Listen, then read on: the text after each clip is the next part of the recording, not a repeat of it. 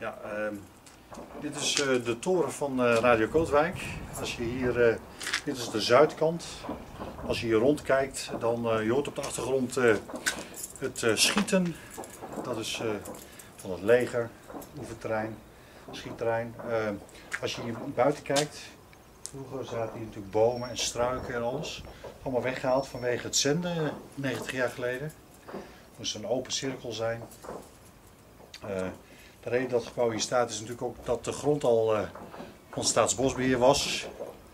Waardoor ze geen aankoop hoefden te doen. En van hieruit is de eerste verbinding gelegd met eh, Nederlands-Indië.